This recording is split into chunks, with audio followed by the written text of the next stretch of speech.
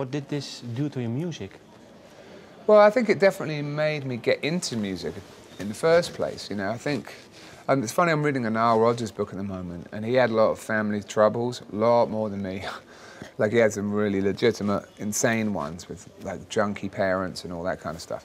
But I think he, he, one thing he said that I could really relate to is like he said that he used to sing a lot, just to stop himself getting lonely and shit, you know. So like I remember like being a kid, my mum had to work a lot after my dad was gone. And uh, so a lot of the time I spent, and my village was very small, there wasn't many kids my own age, so I used to be on my own a lot. I used to just sort of live in a fantasy in a way. I think that's kind of why I got into music at all. Because like, people like Prince, for example, one of my idols, he seemed to exist in another world, you know, and that was very appealing to me because the world I came from, it didn't seem like very like rich or, you know, it seemed like so empty to me. Yeah. And and like the world he was talking about or living in just seemed like a really magical zone, you know, like really like like like it was uh, luxurious and uh, you know it was charged with sex too, which I think I was also just kind of curious, starting to get curious about, and had no real way to explore, you know.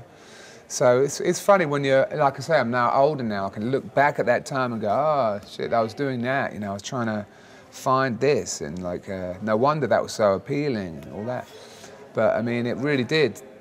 I'm, I'm glad it was Prince because on a musical level, he just introduced me to so much Yeah. heritage, from George Clinton to Sly Stone and all the things that make him who he is. You know. So yeah. And can you say that, well, the music has never uh, left you, betrayed you?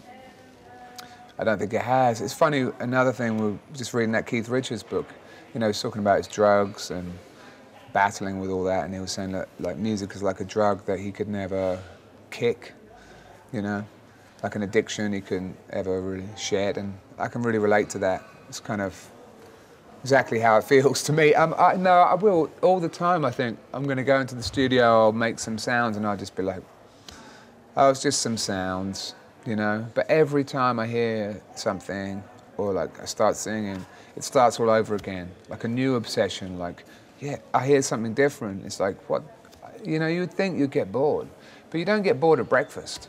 You know, that's kind of what I've been thinking recently. I always look forward to breakfast every single day. I'm almost 40, so I've had a lot of breakfast. So it's like that with music. It's kind of like food. I like food. Never get bored. Ne- never bored. it's always Uh, tasty. It's good. Um, well, the album is called Jamie Lidell, a self-titled album. Yeah. Uh, when did you decide to, to uh, name this album after yourself? It was pretty recent, actually. Um, I had a couple of other names that, you know, what was happening? It was like, I don't know, naming things. It's a weird process. Naming kids, naming, some people name their house, you know, um, animals, whatever. The naming an album is always a bit of a weird process for me. Usually I, I take a track, it sticks, it feels good. Multiply felt right. Compass felt right, for example. On this album, it didn't really seem to work. And it just didn't, you know what it was? I, I felt like I've really achieved a lot with this record. It's an ambitious record. Like, and um, it's a really important part of my, like, story.